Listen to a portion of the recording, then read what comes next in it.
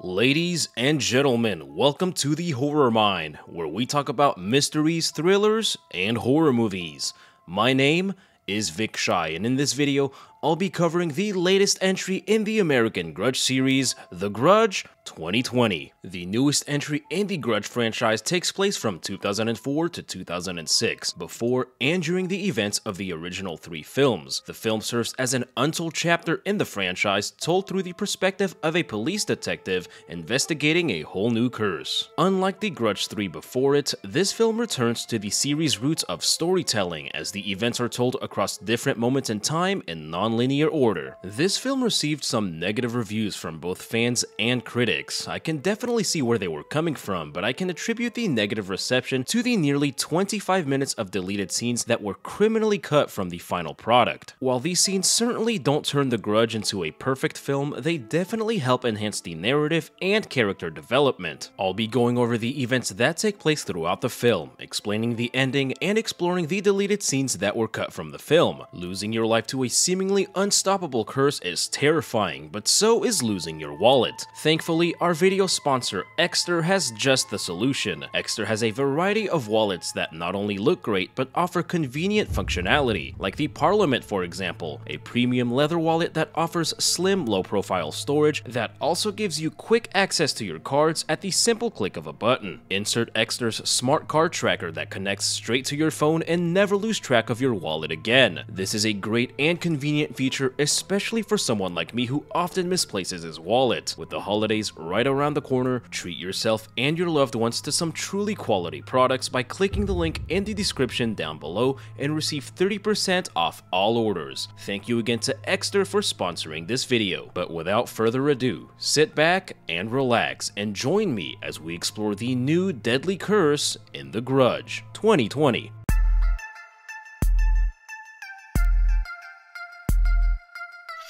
Our movie begins in Tokyo, Japan, right before the events of the first film in 2004. We see a woman named Fiona Landers leaving the cursed Saeki house and is speaking to a woman named Yoko on the phone. Fiona is a social worker who works for the Nerima Care Center and was taking care of a woman named Emma Williams, who suffers from dementia. Emma is the mother of Matthew Williams, an American businessman who recently moved into the home with his wife Jennifer. For those unfamiliar with the series, the house originally belonged belonged to the Saeki family. In 2001, husband Takeo Saeki discovered his wife Kayako's journal, which revealed her love and obsession for a man named Peter Kirk. Enraged by the revelation, Takeo brutally murdered Kayako by snapping her neck and stabbing her multiple times with a box cutter. He then drowned their 7-year-old son Toshio along with their cat. This gave birth to the curse known as Ju-on. Kayako Saeki returned in the form of an Onryo, known in Japanese folklore as a vengeful spirit spirit seeking revenge for the wrongs they endured during their lifetime. Kayako returned and hung Takeo with her long black hair, making him the first victim of the very curse he created. The curse manifested inside of the house and anyone who enters it is doomed to die a horrible death. The curse works in different and mysterious ways. Some are killed as soon as they encounter the curse. Others are stalked by the spirits of Kayako and Toshio for an unspecific amount of time until they are eventually killed. The curse can even attach itself to an individual who then acts as a carrier for the curse. Unlike in the Japanese Ju-on series, only those who step inside of a cursed location become cursed. In the Ju-on series, someone can become cursed simply by coming into contact with an already cursed individual, acting like a virus that spreads from person to person. The curse has also been known to possess people and force them to commit a violent act of murder, thereby giving birth to a whole new curse and cursing the very location where the deaths occurred. As confusing and convoluted as this all sounds, the curse itself is the embodiment of revenge. It will not stop and will consume anyone it comes into contact with. But when will it end? Fiona likely encountered the spirits of Kayako and Toshio inside the house and wants to return to America. She is calling Yoko to replace her and says she will leave the keys with Alex at the care center. We can see the curtains moving from inside the house, which is possibly Kayako watching her. She loses connection with Yoko and briefly encounters Kayako.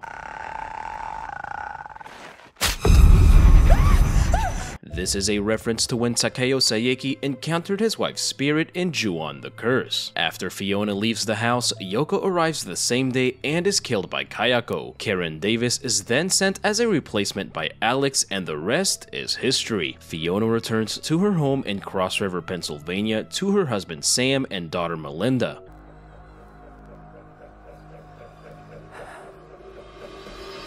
During the opening credits, we are told that when someone dies in the grip of a powerful rage, a curse is born. Sounds familiar. It gathers in the place of death but cannot be contained. Once you encounter it, it will never let you go.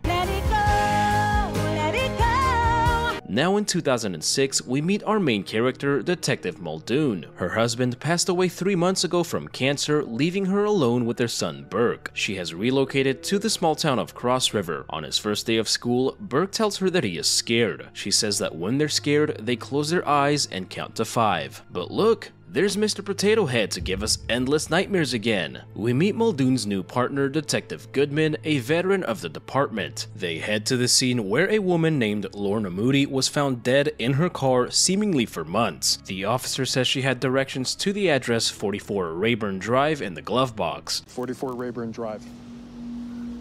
Same place as the Landers case? Goodman says he worked a case at that address two years ago that really stuck with him, but doesn't give Muldoon the specifics. So she does what any person would do in 2006, do a Google search on the address using the Mozilla Firefox web browser. She finds an article revealing that the Landers family was murdered inside their home at 44 Rayburn Drive in 2004. The house number 44 is a reference to 10 Fours, a short film that along with Katasumi are the true prequels to the entire Ju-on series, according to Takashi Shimizu.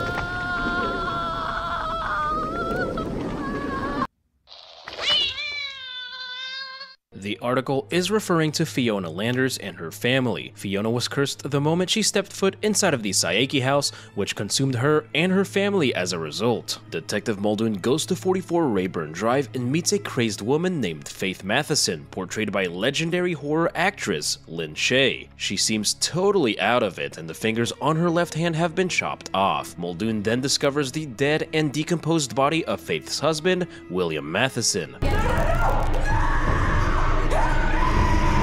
If we take a look at the house, we see that it is very unkept. Like the Saeki house before it, we know that this is a sign that the curse has taken a hold of a specific location. She speaks with Detective Goodman who reveals that Fiona Landers was the one who murdered her daughter Melinda, her husband Sam, then took her own life. Just like when Takeo Saeki murdered Kayako and Toshio, this created a whole new curse that has taken a hold of the Landers house. This is very similar to when a possessed Trish Kimball murdered her husband Bill inside of their apartment, giving birth to yet another curse as seen in The Grudge 2. Goodman has managed to avoid the curse as he never actually stepped foot inside of the house. Smart man. Just didn't feel right. The same can't be said for Detective Muldoon, who is now cursed and being haunted by the ghosts of the Landers family. Goodman and Muldoon's partnership give this movie some much needed heart, which isn't always present in Grudge movies. A deleted scene gives us a more wholesome interaction between the two, which would have been a good idea to keep in. Back in 2004, we meet married couple Peter and Nina Spencer. The Spencers are told by their doctor that their unborn child has a high chance of being born with the genetic disorder ALD. The Landers residence is up for sale and the Spencers are the real estate agents for the house. Peter goes into the residence to get a signature from the Landers who aren't home right now and are probably attending the Vengeful Ghost Academy.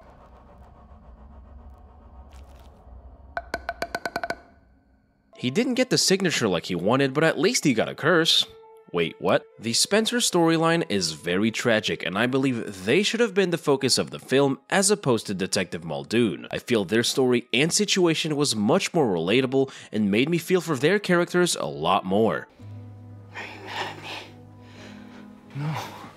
While taking a shower, a ghostly hand briefly pokes out through Peter's hair. This is the same thing that happened to Karen in The Grudge and Rika in Ju-on The Grudge. Watching people take showers must be in the Vengeful Ghost job description. Peter returns to the Landers house the next day and comes across Melinda, whom at this point is already dead. This is a nod to when Kobayashi came across Toshio alone in the Saeki house in Ju-on The Curse. Back in 2006, Muldoon is trying to piece together the connections of all the related to the Landers house. While in the bathroom, her head is briefly forced underwater by Fiona Landers. The film then cuts to 2005 and tells the story of Faith and William Matheson, an elderly married couple who recently moved into 44 Rayburn Drive. We are told by William that Faith suffers from dementia and that her condition has only gotten worse ever since moving into the house. There is a deleted scene that shows a touching conversation between Faith and William, reminiscing a sweet memory that they had together. That's how I want to remember things. And that's how I want to remember you. Faith decides she wants to end her life on her own terms, so they hire an exit guide named Lorna Moody. This is a practice known as assisted suicide, which Lorna says she has been a part of 44. Lorna Moody is the dead body that was discovered decomposed inside of her car in 2006. The police officer on scene says, Uh, the feds, they're already looking for her. This shows that Lorna has been doing this illegally. There is an entire monologue from William in yet another deleted scene where he says that Faith has attempted suicide three times via overdose. In her last attempt, she was out for four days before waking up again. As seen in 2004's The Grudge, Emma Williams, who also suffered from dementia, was tormented by Kayako for quite some time before being killed. It is possible that Faith has also been tormented by the ghosts of the Landers, which helped push her to commit suicide. Lorna says that she can only help Faith if she is of sound mind to carry out the suicide herself. This is clearly not the case when she goes to speak with Faith who starts playing peekaboo seemingly on her own. This is a reference to Mr. Saito from Ju-on the Grudge who was playing peekaboo with the ghost of Toshio. We see that Faith is actually playing with and speaking to the ghost of Melinda. Faith is clearly no longer of sound mind and cannot undergo the assisted suicide. However, Lorna says she still wants to stick around for a couple of days and provide emotional support, aka she just wants a free place to hide from the FBI. That night, Lorna sees a man standing in front of the house in the rain. William tells Lorna that this is Detective Wilson, Goodman's partner who has been working on the Landers case. The case? I hope it wasn't a murder. Double murder suicide with a hint of a Japanese curse to be exact. Detective Wilson has become obsessed with the case and is also cursed. Goodman comes to pick him up and Wilson shoots himself in the face with a revolver. In 2006, Detective Muldoon learns that Wilson has been admitted to a psychiatric hospital. She meets with Wilson whose face is severely scarred from his self-inflicted gunshot wound. He seems fully aware of the curse and says that it will never let her go. He says that he has tapes on the case and that she needs to burn down the house. As she exits the hospital, Wilson is rushed away by the staff for having gouged his own eyes out. He says that he can still feel them watching him, referring to the ghosts of the Landers. Wilson is a rare case in the series as someone who has been cursed for years but has not yet been killed. Wilson was cursed when he began investigating the murders in 2004. Rather than being killed, it seems that he has been tormented by the ghost of the Landers for the past two years. She listens to Wilson's voice recordings that have a couple of cool references to previous films. While investigating the Landers case, he learned about the Saeki murder case that occurred in 2001, which started the original curse. Wilson then spoke to Detective Nakagawa from the 2004 Grudge film. He thinks a murder in that house caused something called a Ju-on. This is the second time in the American Grudge films that Ju-on is mentioned, the first time being when Naoko, Kayako's sister, talks about Ju-on in The Grudge 3. When my sister was killed, a Ju-on was born. Wilson believes that Fiona brought the curse back with her from Japan, which made her kill her family. Wilson's character is very similar to that of Jake Kimball from The Grudge 2 and 3. Both Wilson and Jake seem to have more knowledge on the curse than everyone else. Both were tormented by the curse and admitted into a psychiatric hospital. This film actually has a lot of clever similarities and callbacks to both the Japanese and American films of the franchise that I really enjoyed as a fan. At the police station, Detective Muldoon is creepily being stalked by the spirit of Sam Landers. She tries to tell another detective what she saw, but comes off like she is losing her mind, just like Wilson did. Back in 2004, Peter Spencer is still inside of the Landers house with Melinda, waiting for her parents to come home. He gets a call from his wife Nina, who tells him that she is going to love their baby no matter what. I'm just really, really happy. This is a very touching yet tragic scene because of the events that follow. Fiona's ghost can be seen through the door viewer and disappears when Peter opens the door, a nod to Katsuya Tokunaga's scene from Ju-on the Grudge. Fiona Landers can also be seen creeping behind the window. Peter comes back into the house and Melinda is no longer there. As he searches for her, we can make out the sound of Melinda being drowned in the bathtub. Like the real estate agent who sold the Saeki house in The Grudge, Peter finds the bathtub filled with black water.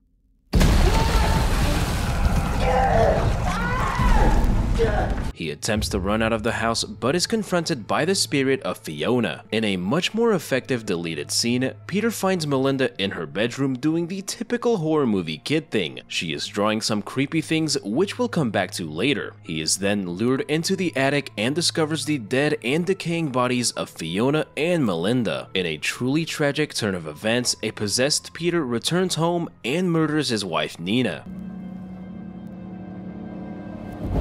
The next day, her dead body is seen lying in a pool of blood and Peter has drowned in the bathtub. Due to the sheer amount of blood and how Nina is facing down on her stomach, it is heavily implied that Peter cut out his own unborn child. This would be a direct reference to what Takeo Saeki did when he killed the wife of Shunsuke Kobayashi. Also, we don't know whether Peter killed himself or if he was drowned by Fiona Landers. Based on the rules established by the American Grudge films, the murder of Nina and her unborn child by a possessed Peter has possibly created a whole new curse. This reinforces my belief that the film should have focused on the Spencers as the main story. Their storyline was much more emotionally engaging than Muldoon's, which made their tragic and brutal demise so much more impactful. In 2005, Lorna Moody discovers the house is haunted when she sees the ghost of Fiona Landers hovering over Faith Matheson.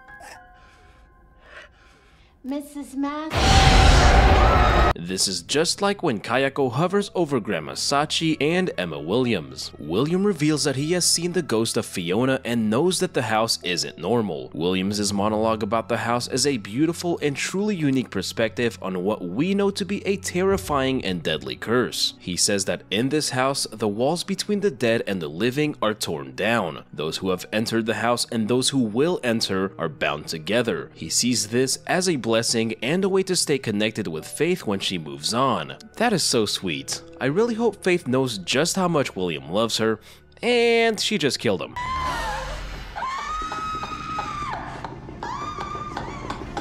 Lorna sees Williams' dead body on the floor and that Faith has cut off her own fingers. She runs out of the house screaming and drives off like she's auditioning for the next Fast and Furious movie, more like distraught and dead as the ghost of Sam Landers suddenly pops out from behind her and causes her to crash into the woods. Back in 2006, Muldoon finds that the Lorna Moody and Matheson cases have been turned over to the FBI and that Goodman wants nothing to do with it. Faith is now in the hospital and kills herself by jumping to her death. We see that she was still being tormented by the ghost of Melinda up to her death. One night, Detective Muldoon is lured out of her bed by a shadow in front of her bedroom door. The TV then turns on on its own and someone on the TV says, They say that the dead only want one thing to go into the light. This was not only a reference to Melinda Landers, but to everyone who fell victim to the curse. Having all been victims of the curse, their spirits were unable to move on. This possibly hints that the only way to end the curse would be to help these vengeful spirits move on, though this is only my speculation. She walks around checking her house with her firearm and thinks she is losing her mind. She has started smoking again, although she told Goodman she quit. She possibly quit smoking after her husband got cancer, which was a nice little character detail. Thinking Sam Landers is in her home, she goes to check on Burke.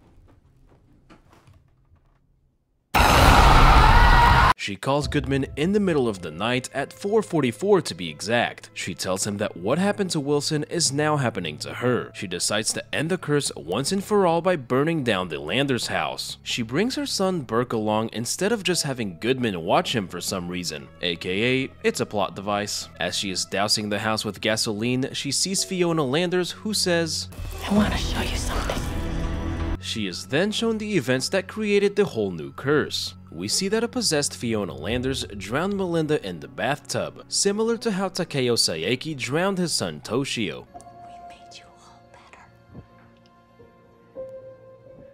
Sam Landers comes home and sees the gruesome sight of his dead daughter, which leads to a physical struggle between the two. Fiona brutally bludgeons Sam, which causes him to fall down the stairs to his death. The deleted scene shows us that Peter Spencer came to the house for signatures immediately after Sam's death. She tells him to come back the next day, which he ends up doing, and by that point, the curse has already been born. Fiona saws off all of Sam's limbs and places them into a plastic bag that she throws into the river. The body is then discovered by the police and Detective Goodman identifies Sam's body. That's Sam Landers. These events were depicted in Melinda's drawings from the deleted scenes with Peter Spencer. Fiona then stabs herself in the neck with a pair of scissors. This, along with Sam's fall from the stairs, possibly damaged both of their windpipes before their deaths. This is why both of their ghosts make the iconic grudge death croak, though there is no explanation as to why Melinda also does this. I guess that's what they teach everyone at the Onryo Academy nowadays. Muldoon isn't phased by what she sees and continues pouring gasoline Burke suddenly enters the house even though he was told to stay in the car. She can tell something is off about her son as she asks him what they do when we're scared, but he doesn't reply. She lights the house on fire, which reveals Melinda was pretending to be Burke. She successfully sets the house ablaze as she embraces the real Burke who stayed in the car like he was supposed to, you go, pal. Sometime later, Muldoon embraces Burke before he goes off to school. However, in the film's final scene, we get one last act of bamboozlery. I'm going to school, Mom. The Burke she is hugging turns out to be Melinda, and Muldoon is dragged away by Fiona Landers as the movie ends. This shows that Muldoon was unsuccessful in ending the curse. Even though she burned the house, the curse was still attached to her. Aubrey from The Grudge 2 was told by Kayako's mother herself that burning down the house would have no effect. It was even said that setting fire to the Saeki house made the curse grow stronger. Although we don't know the true consequences of having burned down the Landers house, it is clear that the curse is far from over. And that, ladies and gentlemen, was The Grudge. 2020. My friends, I hope that you enjoyed seeing all the connections to the previous films as well as filling in the gaps with the deleted scenes. I feel that The Grudge would have been more well received if those scenes had been kept in. While this film doesn't offer anything totally original, it felt like it was made by a true fan of the Ju-on and Grudge series in Nicholas Pesce. Although, as a fan of the original films, it would have been nice to see something new and original, as opposed to things we've already seen rehashed for a new audience the film would have heavily benefited from focusing on the Spencer storyline instead of Detective Muldoon. I felt their storyline was much more emotionally engaging, and their tragic end left the door open for a whole new curse being born. Detective Muldoon's ending felt a little cheap, and her story would have served better as a side plot. Also, I never found the ghosts of the Landers family as scary or memorable as the Saekis. They were pretty much a discount version of the Saeki family that relied way too heavily on jump scares. Kayako and Toshio were what made the Ju-on and Grudge series so terrifying in the first place. Having them completely replaced with someone new was a huge risk that ultimately didn't pay off. But as always, I hope you all enjoyed the video. Thank you all for tuning in and I cannot wait to see y'all right back here in the horror mine. Y'all stick around.